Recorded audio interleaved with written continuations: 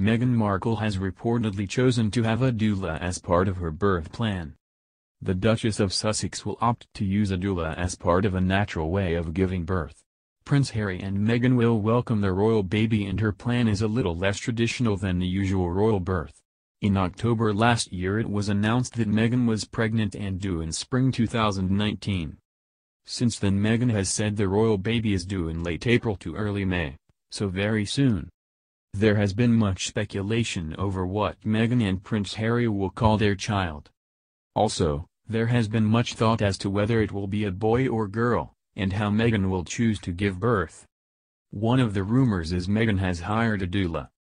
A doula is a person who gives continuous support for a family throughout pregnancy, birth and the early days after the baby is born.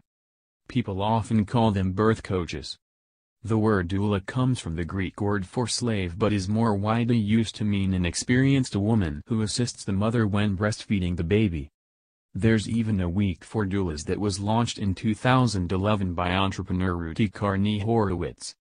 The idea was to empower doulas around the world. The week runs March 22 to March 28. Doulas offer both practical and emotional support to women. They offer this support in homes as well as in hospitals.